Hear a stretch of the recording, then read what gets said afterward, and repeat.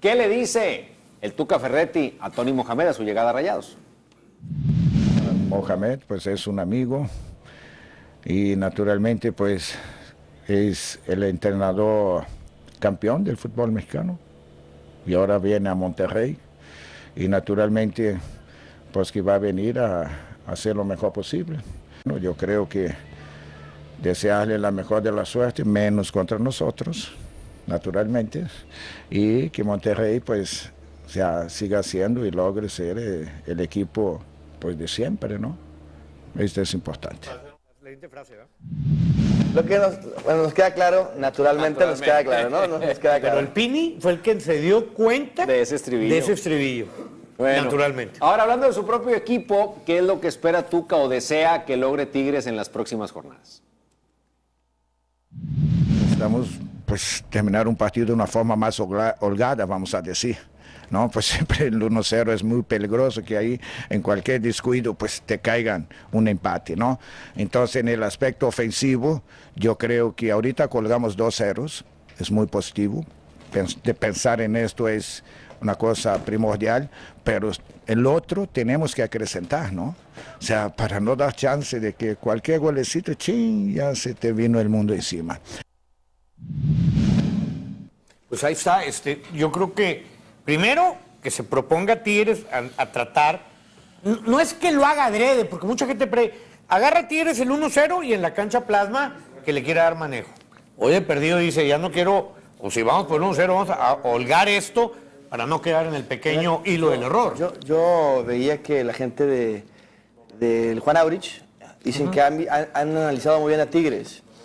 Y yo creo que si esto es cierto, posiblemente se venga a presentar un equipo aquí como lo hizo el Monarcas, donde todo atrás y donde vimos que Tigres, a mí por lo menos el sábado pasado, me- Tigres me gustó todo el partido, todo el partido. A mí el primer tiempo no tanto. No, Pero bueno, obviamente no tanto porque de Morelia se defendió muy bien, pero Tigres intentó por diferentes formas atacar. Lo que pasa es que Monarcas y tuvo grandes aciertos. Para mí refrescó a Tigres Sobis. Claro, definitivamente, pibe, y pero a lo que, a lo que iba nada más es a que ese escenario se puede volver a presentar. Estoy de acuerdo, Andrés. Yo creo que si lo estudió bien, como vos decís, que hay que ver, digo, todo el mundo te va a decir, estudié muy bien al rival.